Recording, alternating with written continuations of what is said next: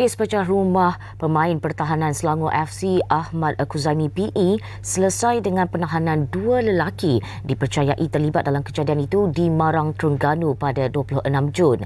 Ketua Polis Selangor Datuk Husin Omar Han berkata suspek yang berusia 28 dan 33 tahun itu ditahan berhampiran kampung Alur Tuman sekaligus mengesahkan bahawa insiden itu tiada kaitan dengan kes jenayah membabitkan beberapa pemain bola sepak lain.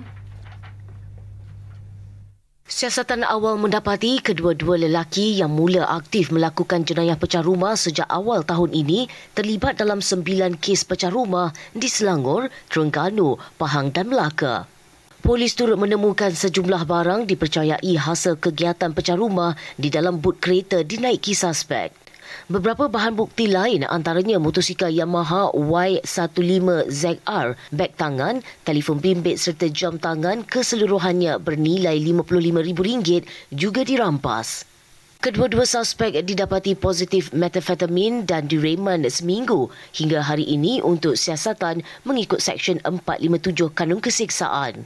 Media pada 23 Mei lepas melaporkan polis memburu suspek disyaki memecah masuk rumah Ahmad Kuzaimi dan melarikan sebuah motosikal milik mangsa di Shah Alam pada 22 Mei.